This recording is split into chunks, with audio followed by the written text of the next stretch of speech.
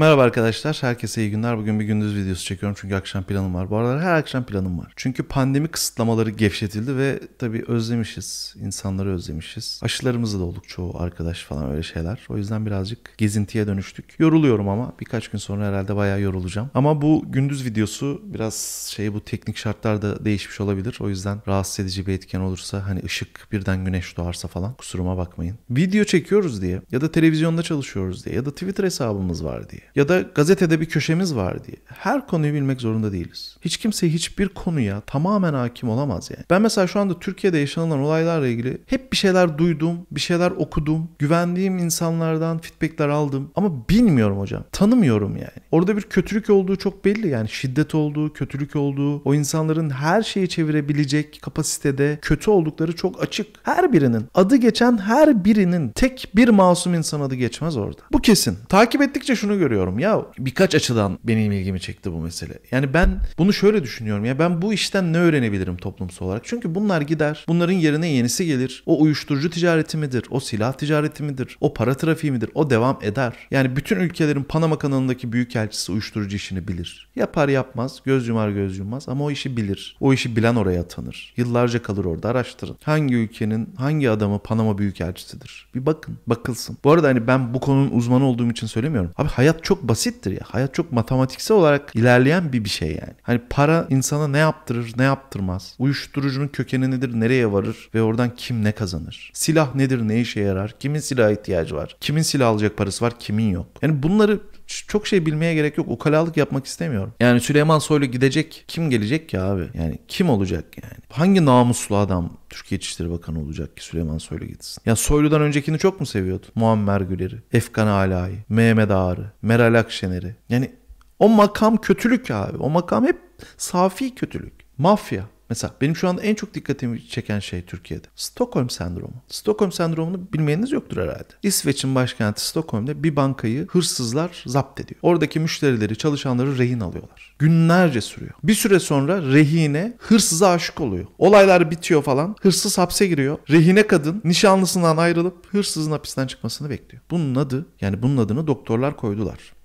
Stockholm sendromu. Bugün bizim ülkemizin genelinde aklı başında çok insan var onları söylemiyorum. Onlar başım üstüne diyor ya. Onlar başım üstüne. Ama büyük bir kesime dikkat ediyorum. Twitter'dan takip ediyorum. Ekşi Sözlüğü okuyorum. Yorumlara bakıyorum. YouTube videolarını izliyorum falan. Yaşadığı şey Stockholm sendromu bir mafya babasının birazcık size adım atmasıyla nasıl yumuşadınız ya? Ne çabuk yumuşadınız. Ya bu adamlar hani parmak keserim diyor gerçekten kesiyor. Ya kendininkini neydi başkasınınkini kesiyor. Diş çekiyor. Haklı haksız demeden tanıdığı için adamlara insanlara neler yapıyorlar. Kadınlara neler yaptılar yapıyorlar. Ya onun üzerinde söylemiyorum hepsi de böyledir bunların ya. Ya bu insanlara bu kadar adamın şeyi rengi şekli şemali değişti. Kürt sorunu Alevi sorunu falan demeye başladı. Çünkü bizim insanımız bak ben hep bu, bu konuda uyardım biz. Bu, bu kanalı izleyenleri uyardım. Adam kralsın yazmayın, kralsın yazmayın. Bir insana ölmeden hayran olmayın. Benim hayran olduğum bütün insanlar ölmüştür dedim. Yaşayan insan, yaşayan potansiyel bir suçludur. Hiç kimseye yeterince güvenmeyin. Çok fazla hayal kırıklığına uğrarsınız dedim. Diyenler de vardır. İlk diyen ben değilim. Şimdi ben ben ben yapmak istemiyorum. Ama içinde bulunduğumuz durum çok fena. Bu adama bu kadar. O yorumları bir okuyun ya. Ya sempatik bir bir bayram şekerine döndü ya herif. Seyit Rıza diyor, Zülfikar diyor, Atatürk diyor. Bütün muhaliflere göz kırpıyor. Yani geçen sene kanıyla duş alacaklarına selam çakıyor.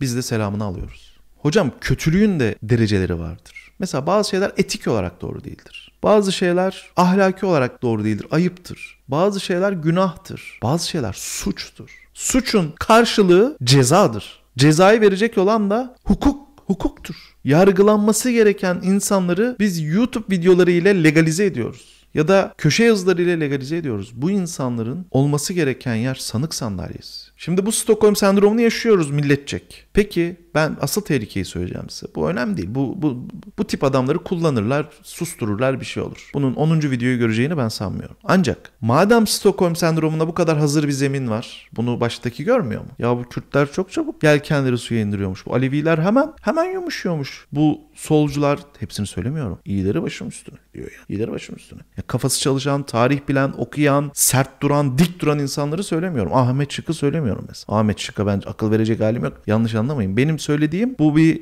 yılışık bir kitle var. Yılışık bunun adı. Gevşek. Durduğu yeri bilmeyen, nasıl duracağını bilmeyen. Adam da ne güzel konuşuyor diyor. Güzel konuştuğu falan yok. Güzel konuştuğu falan yok. Safi kötülük akıyor paçalarından. Ama dediğim gibi onu bir tarafa bırakalım tamam mı? Peki baştaki bu Stockholm sendromunu çözüp bugüne kadar yoksul bıraktığı, hayatlarına kastettiği o insanlara adım attığı zaman aynı şeyi buna da mı yapacaksınız? Bunu da mahvedeceksiniz yani. Sempatik bir insanmış gibi başınızın üstünde mi gezdireceksiniz?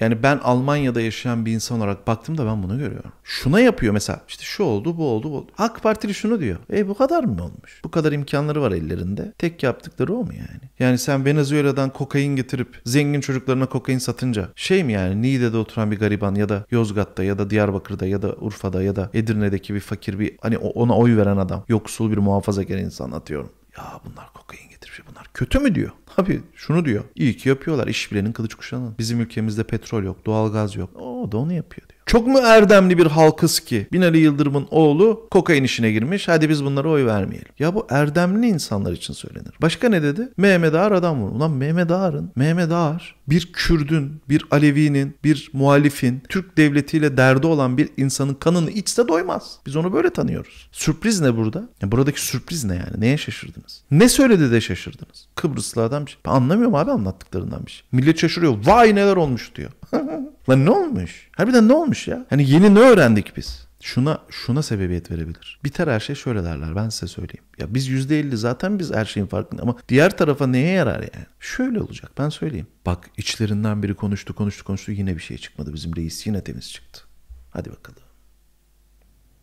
Son olarak şunu söyleyeyim. Güneş de battı mı doğdu mu saçma sapan bir teknik oldu kusura bakmayın ışık olarak. Ayarlayamıyorum çünkü. Nasıl yapıyorlar bilmiyorum. Gündüz video nasıl çekiyorlar? Ben insanlara soracağım yani ışığı nasıl ayarlıyorlar diye. Ben şu iklimden, Türkiye'deki şu iklimden şu üç sonucu çıkardım. Ve herkesin bunu çıkarması gerektiğine inanıyorum. Bir, neyi paylaşamıyorlardı? Ve halkın bunda nasıl bir dahli var? Yani halkın neyini alıyorlardı ki şimdi alamıyorlar ya da alıyorlar da paylaşamıyorlar kavga çıktı. Bak halkın olmayan hiçbir şeye halk tepki vermez. Ben veririm sen verirsin. İnsanları zehirlemek suçtur. Uyuşturucu dünyanın en illet şeyidir. Kaç ailenin ocağına incir ağacı dikmiştir. Bunu bilen bilir, bilmeyen umurunda değil. Oy vermeye devam. Ama biz bununla ilgilenmeliyiz. Neyi paylaşamadılar? En çok da vatandaşın mesela Yalıkavak Marina'da vatandaşın değil mi o bizim orası yani. Halkın orası. Denizin değil mi 50 metre şey kamunun. Ama orada başkalarına peşke. Şimdi biz oraya giremiyoruz değil mi? Ya ben giremedim. Gittim oraya utandım. Burada Gucci, burada Armani falan. Ben tipime baktım. Bana göre bir yer değil dedim. Benim yatım da yok. Teknem de yok. Benim orada ne işim var? Ben yüzme de bilmiyorum hocam yani. Ben denizi görmemiş bir çobanın torunuyum. Bizim oranın meşhur şehridir. Benim işim yok. Ama Bodrum halkının orada bir, bir hakkı yok mu? Dolayısıyla bizim neyimize el koymuşlar bizim haberimiz yok. Bir. iki. Bir insan nasıl bir devlet aleyhine bu kadar konuşup başka bir ülkede tutunabiliyor? Arkasında kim var? Kimin işine yarıyor? Mesela şu ana kadar konuştukları kimin işine yarıyor? Bence bir kişinin işine yaradı bugüne kadar konuştukları. O yüzden dolayı bunu iyi düşünün. O yüzden dolayı kimin işine yarıyor?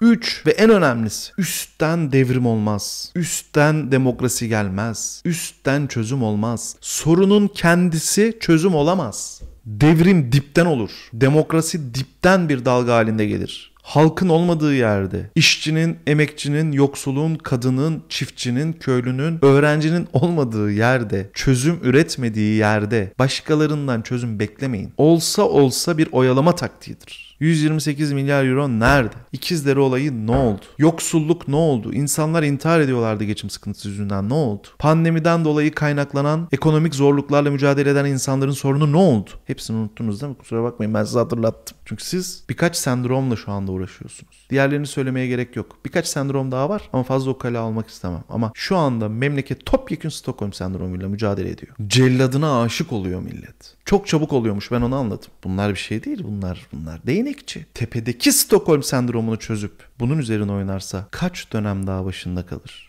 Bu olayların benim aklıma getirdikleri bunlar. Diğerleri havacıva bence. Hoşçakalın.